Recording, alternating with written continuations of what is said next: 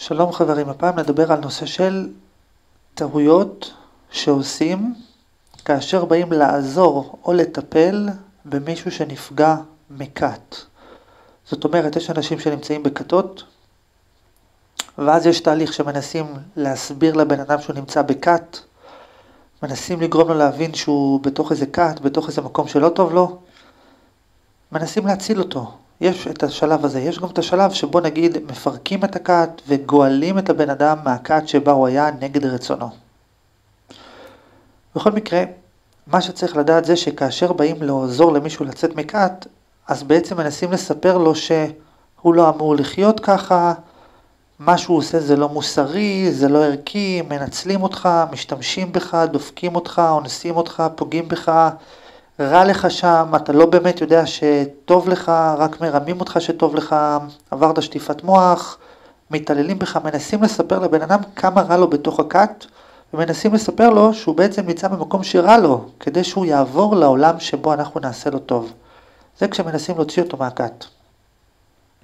כאשר יש את התהליך של פירוק הכת, שבה נגיד אה, המשטרה או המדינה מתערבת והיא מפרקת את הכת, אז מה שקורה שבעצם לוקחים את האנשים שהיו בכת לטיפול ומסבירים להם שהם עברו התעללות ושהסטנדרטים שהתייחסו אליהם בכת זה לא הסטנדרטים ההגיוניים, כי אם נגיד אה, בן אדם אה, כולאים אותו בחדר ומרעיבים אותו, אז מסבירים לו, תקשיב, זה לא מקובל בחברה שלנו ואתה צריך לדעת שעברת התעללות וזה לא המצב הנורמטיבי וכולי וכולי. זה מה שקורה כיום כאשר עוזרים לנפגעי כתות.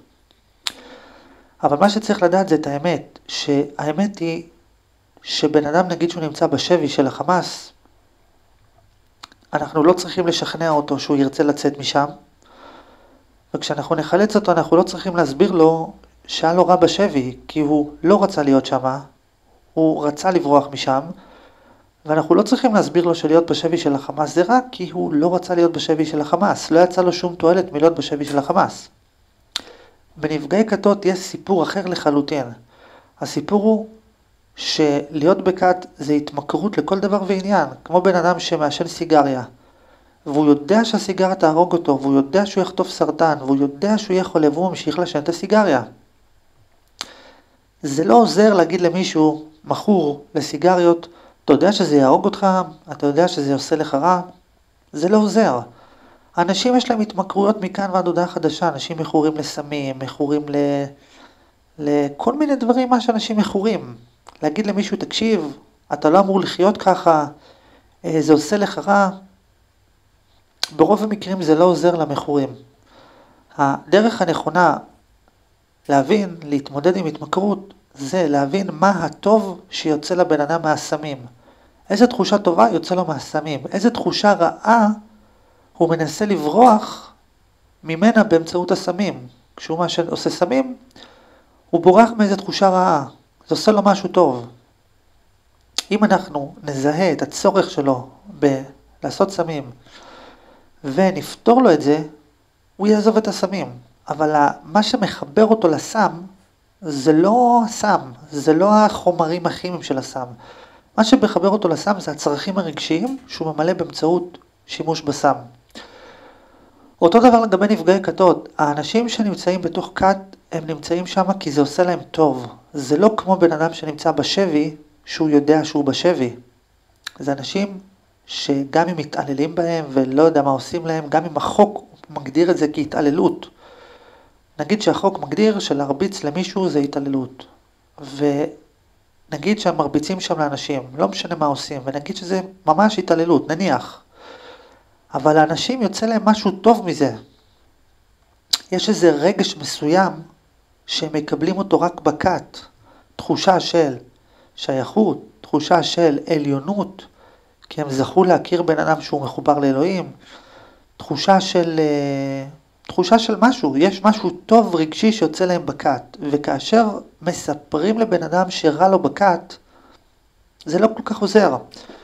בחלק גדול מהמקרים, כאשר מפרקים את הכת ומסבירים לבן אדם, תקשיב, איך שהתייחסו אליך זה לא לגיטימי, זה לא מקובל, חברתית, זה לא עוזר, כי הבן אדם עדיין יש לו צרכים רגשיים שהוא מילא אותם רק בכת.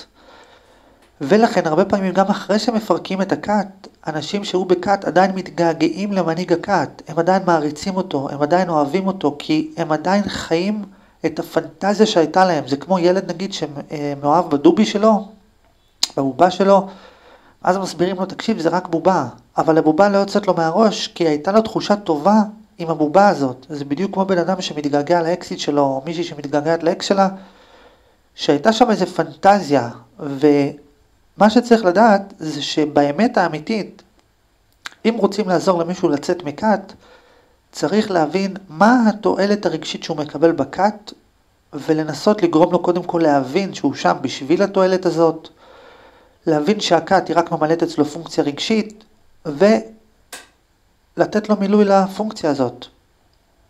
אם אנחנו באמת רוצים לעזור למישהו שהיה בכת, אנחנו צריכים לנסות להבין מה התחושות הטובות שיצא לו מלהיות בכת.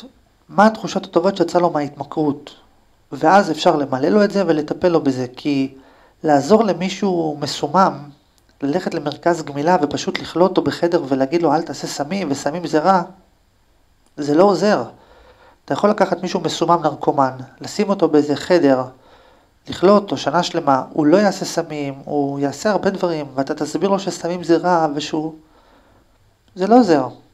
אתה לוקח עבריין שעשה פשע, אתה שם אותו בכלא, מסביר לו שלעשות פשע זה רע, אתה מעניש אותו, אתה שם אותו בכלא, וזה עוזר. הוא חוזר לכלא, הוא נהיה יותר עבריין מאשר קודם, עכשיו נהיה לו יותר רע. שמת אותו במרכז גמילה נגד סמים, ואתה בונה על זה שבסוף הוא יחשוב שסמים זה רע. אבל צריך למצוא למה הסמים עושים לו טוב. אם אתה באמת רוצה לעזור למישהו להפסיק אה, להשתמש בסמים, אתה צריך לבדוק למה סמים עושים לו טוב, ואת הטוב הזה שהסמים עושים לו, לתת לו את זה, ואז הוא לא יצטרך לעשות סמים. אותו דבר לגבי כת. צריך להתייחס לאנשים שהוא בכתות כמו אנשים מכורים לעישון, לסקס, להימורים, לכל דבר, זה התמכרות לכל דבר ועניין. צריך לבדוק למה בן אדם מכור, למלא לו את הצרכים הרגשיים, וככה הוא ממש לא יעניין אותו יותר הכת. מידע נוסף אפשר להיכנס לאתר, לכתוב התמכרות, לכתוב כתות, נפגעי כתות, דברים כאלה ולקבל מידע נוסף ושיהיה בהצלחה.